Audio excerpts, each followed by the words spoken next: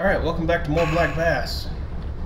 Let's get some more fish. I'm gonna show off a few more areas and then. Alright, let's see. As I was saying before, each area, like the lily pads, the weeds, the reeds, the trees, whatever, has four areas that you can fish. And the four areas, as I was saying earlier, is uh, from light to heavy, from light to light, from heavy to light, and then heavy and heavy. Those are the only four areas. So basically, I could pull into the lily pads here and end up fishing and in one of the same action screens, I guess, so to speak, as these lily pads over here. So it really doesn't matter which lily pads you go into.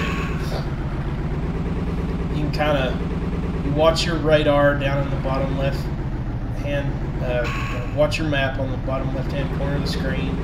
Kind of, you know, as your boat moves, that will move you to a to potentially a different uh, area. So, you know, here's more lily pads, and again, and I'm not going to fish the lily pads right now. I fished there a little bit earlier. Uh, I want to show off the. I don't know if I showed off the weeds. Let's show off the weeds a little bit.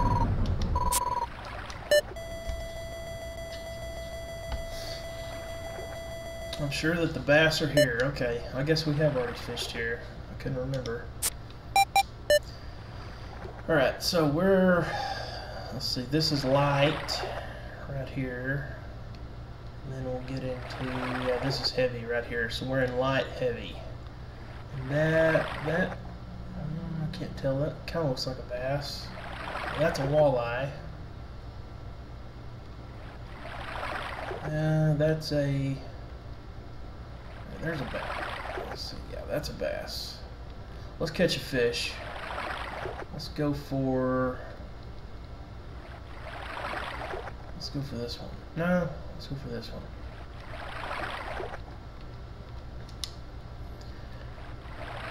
Alright. Hold, hold down and right. Thumb your line a little bit. Spinner bait is just fine right here for the weeds spinner bait, a jig and pork. I think a worm would work just just as well. But you you just want a weedless lure. Now you can't snag again, so it doesn't really matter. But but uh, certain lures just work better in certain places. So all right, let's try again.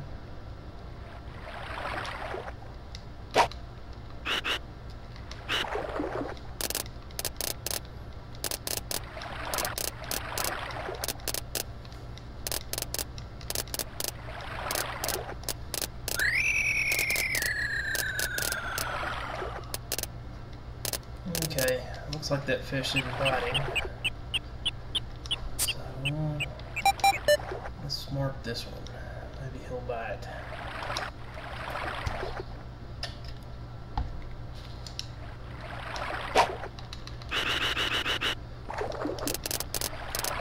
Yep, Sunday, got my yard mowed, looking good. My wife went to Costco, so I thought, why not? Let's film a video.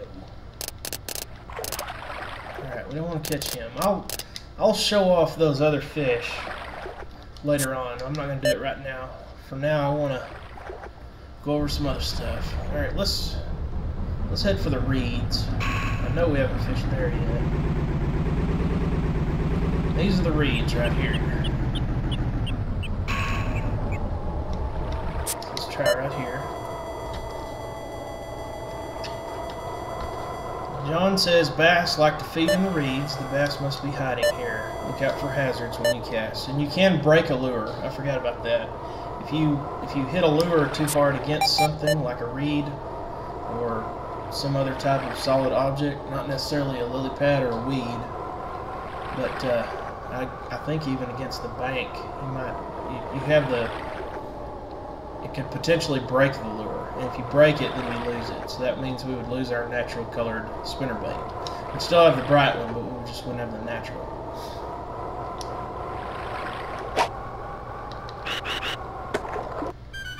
Yep, and there you go.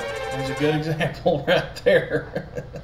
oh no, the hook was broken. You have to fix it right now. You cracked your lure on that cast. Check the casting area the mark before you cast. Okay. Yeah, we can't fix it. We just see we lose it. So oh well, no big deal. This is why I don't really, really like to fish in the reeds unless I absolutely have to, because you do have that potential hazard of breaking the lure. You don't want to break too many. There's only a few different lures that work really good in each area, so hang on to them. Make sure you got them.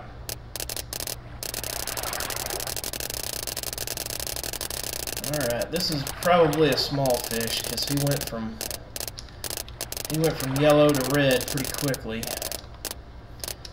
Um, let's see. They'll kind of get stuck, but eventually, if you keep keep kind of pulling back, eventually you'll get them through.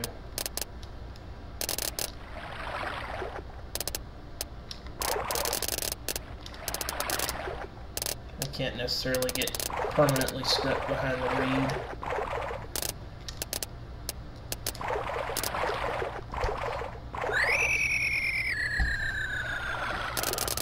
Come on.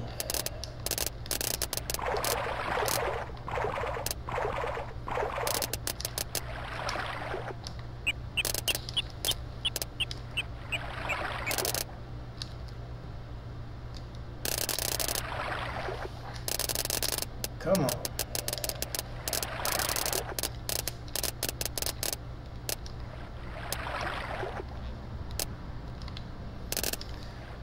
Oh, heaven's sakes.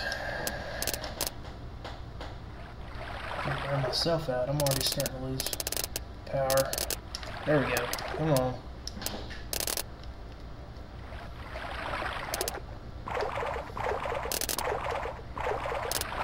There you go.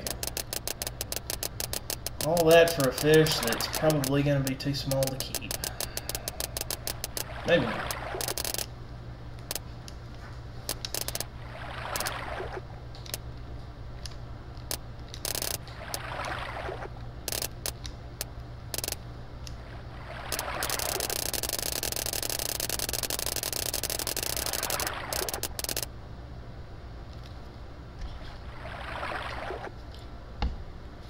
What do we got? Uh, I got another smallmouth. And we'll do better next time. Okay, he was too small. I think there was another one. Alright, let's see if he'll bite. He may not bite, since we've already caught a fish here. But we can try.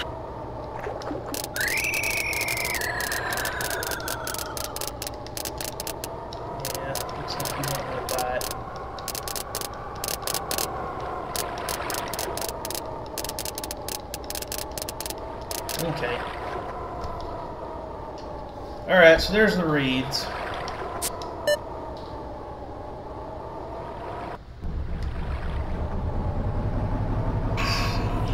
Um, see, I think...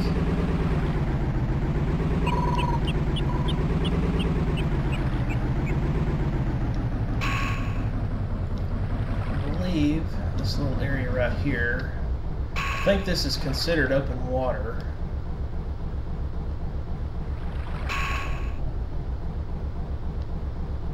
Back up a little bit. Okay, if you look down at the bottom right, um, there's the uh, the bottom of the lake is uh, the, the uh, radar or the, the sonar or whatever it is is picking up something down there so this could be a place where we can catch a fish because it's also picking just anything that's not just completely flat. You know, you can kind of see some some weeds or some trees or something down there. Then you can try this place out. All right, John said the finder is showing something. Cast over the gravel bottom. Okay, so this is a gravel bottom area, and as you can see, this is different from just getting out right in the middle of the lake and just you know, casting into an area that's just all open. Uh, you'll very rarely ever catch a fish in one of those areas. Uh, alright, so we got a fish. So let's see what we can do here. Uh, you know what? Alright, we'll try the spinner bait. It may not work. We may need to go... I should have showed, showed off the tackle box just to see what John would say. I think a spinner bait might work.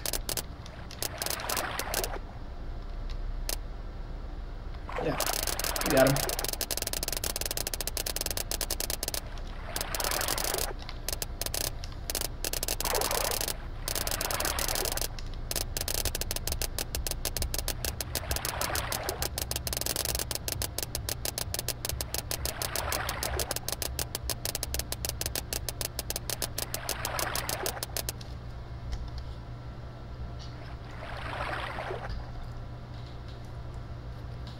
Alright, another smallmouth, and he's too small.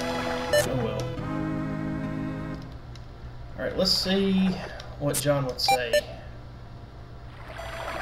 Bass feed around the gravel areas. Use a crankbait or a jig and pork. Okay. Let's let's try a crankbait. It's one of my favorites in the in the game. Is a crankbait. It's a topwater lure, but it has a lip on it, which means when you reel, it'll dive. Let's look over here. Alright, that's a walleye. There's a bass. Let's give it a try. If it looks like he's not going to bite, I'm not going to waste very much time here, though. Because, again, the best you're going to be able to do is maybe catch two fish at a certain, at any given area. We don't want the walleye, not yet. Show that off later.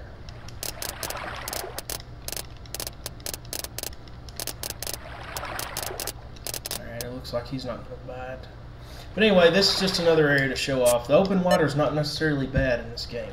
Yeah, you know, the, the easy, the easily identified areas are, you know, the weeds, reeds, lily pads, things like that. But there are good open water areas. And there is a lake coming up, not the next one, but the one afterwards that we are going to need to find some good open water to fish in. Because if you don't, then there's just not much else to choose from.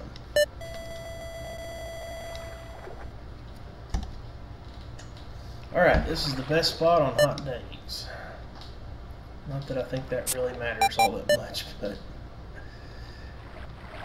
Alright, so there's a bass. And there's something goofy. Either a crappie or a bluegill, one of the two. I'll show off whatever it is later on.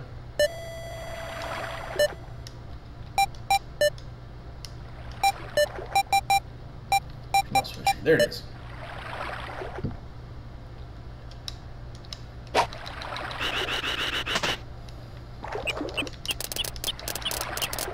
Come get it. Gotcha.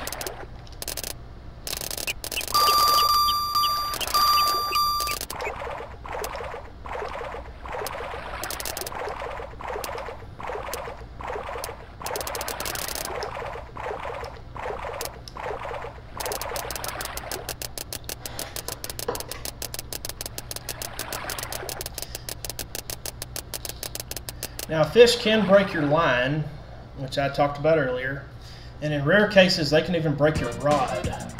Yeah, I got a big largemouth. All right, 5.6 pounds. That's great. Good. Catch more like this. All right, good deal. Good deal. We got a big one. Those are the kind of that's the size that we're going to want right there. Either largemouth or smallmouth, one of the two. But yeah, as I was saying, in rare cases, a fish can even break your rod. And also, you want to be careful with your boat because ramming your boat into either a rock or the side of the bank too hard and too, or too many times can even damage your boat. And if you damage your boat, then that's it. You got to hit back. You, immediately weigh in with whatever you have. It doesn't matter. So let's go. All right, we showed off the weeds, showed off the can see I'm passing over some gravel bottom areas. Um, let's see. Let's try this right here.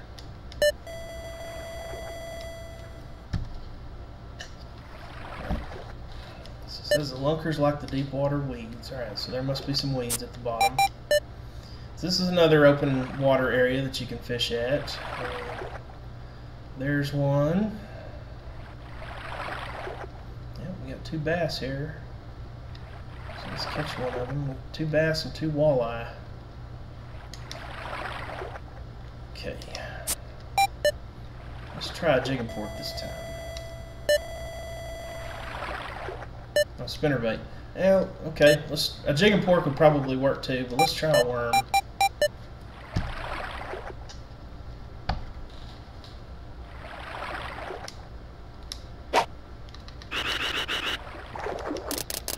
Yeah, we don't want you. Go away.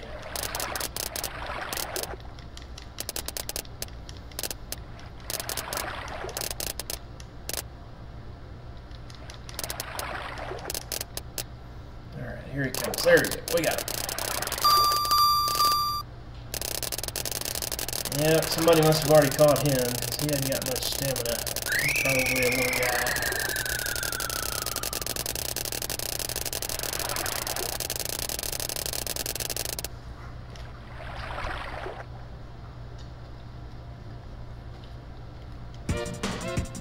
Yep, little bitty. Two pounds ain't gonna cut it. Alright, let's see if we can catch this one over here.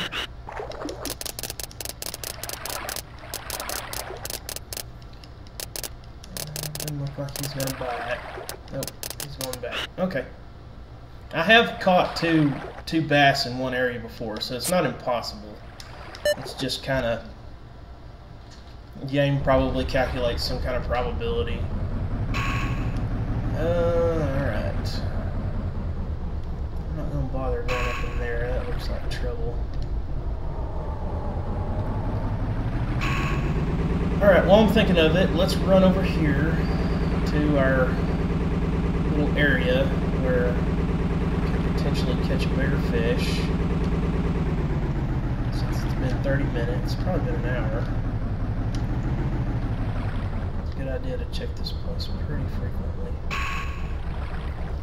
Alright, are we on it? Looks like we are.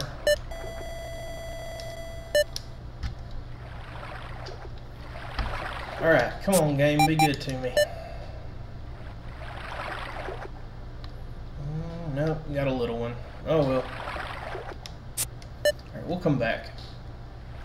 Alright, while I'm here, in this area, also fish. There's. What the heck is my phone doing?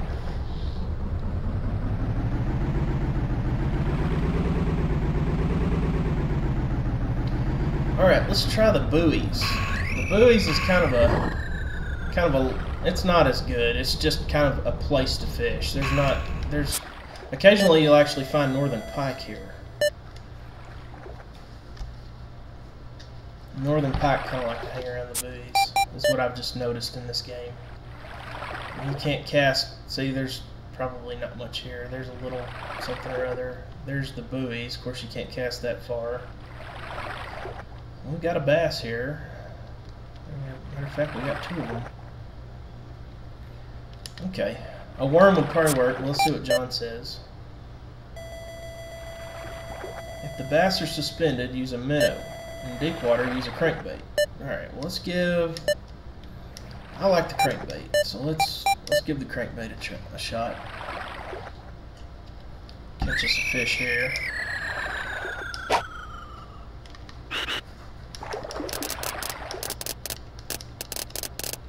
Come get it.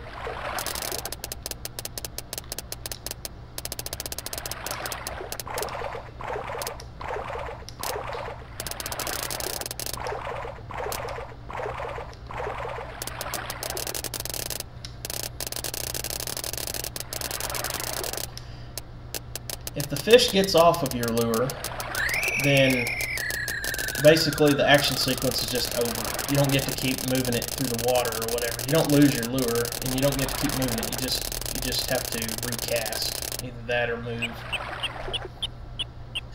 But them just coming off of the lure is different from say them actually breaking the line. Alright, we caught one. He's barely big enough to keep. So we got a total weight of 22 pounds. We gotta catch some bigger fish. We gotta get on it.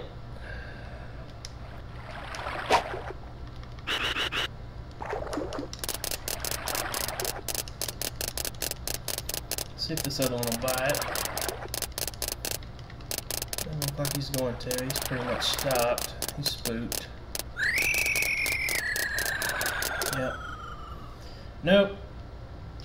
Alright.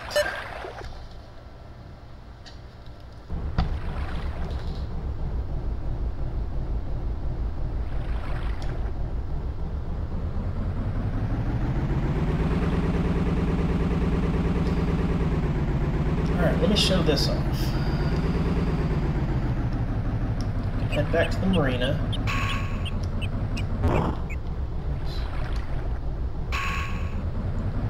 Don't pull in all the way, just kind of pull in about this far. In the marina, the bass like hiding under the bridge. That's where the bass like to feed. Look out, don't snag your line. Alrighty, so let's check this area out. There's the marina. We don't want to cast all the way up there. We just want to cast short. That is if, yep, there's no bass here. There's just these two and a walleye.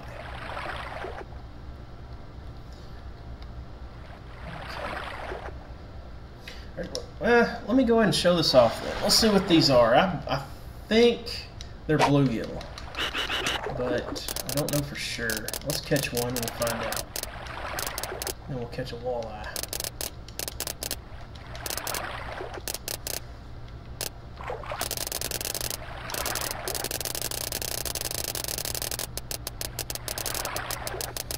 These little guys get bigger as you in the not the next lake, but the, but the the last two lakes that you can fish at. They actually get big enough to where you could even catch one and break the unofficial record. But these little guys are not going to get you there. So we caught a crappie. Okay, so I was wrong. It's not a bluegill, it's a crappie. It's good practice for hooking bass. Yep, we don't get to keep it. So there's a crappie. So let's catch if we can catch if we can grab him. Let's catch this walleye here. Ah. I just had a feeling. Oh well. I don't want to waste another crankbait, so let's just use a minnow.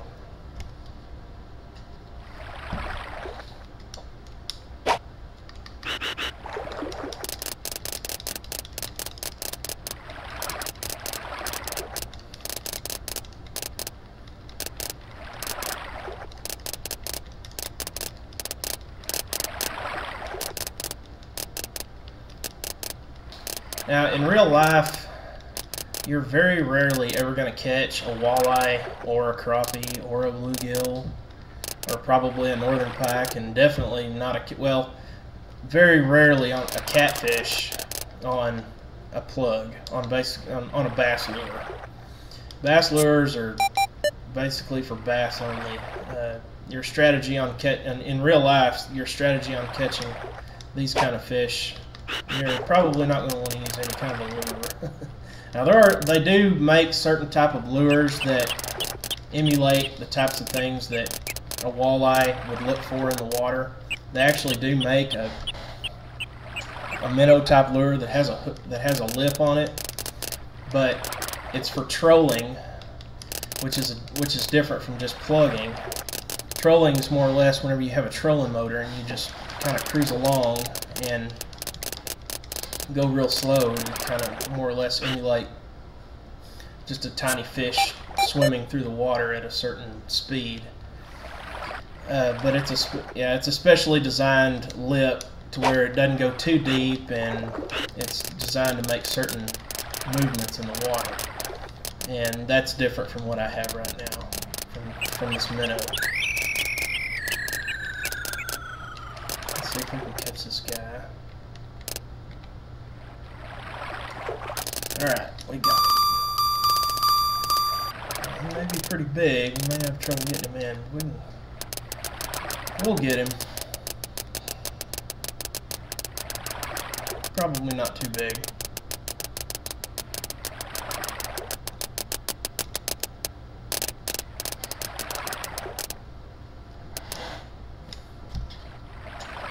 Now, see. Eh, he's not bad. 7.6 pounds.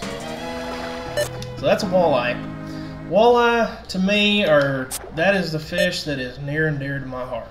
And that's when I was, ever since I was a kid, whenever I was growing up, my dad and I would always, we would always fish for walleye. There's a real, there's some really good walleye lakes in Mexico, and that's basically just where we would go whenever we wanted to fish. We'd go to, there's some real good walleye lakes.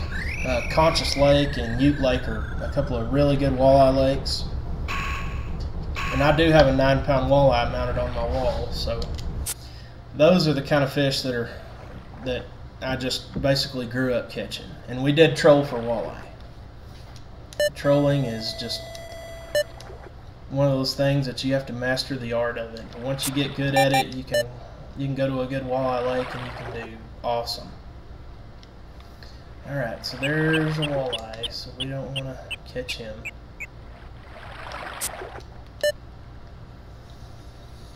Okay.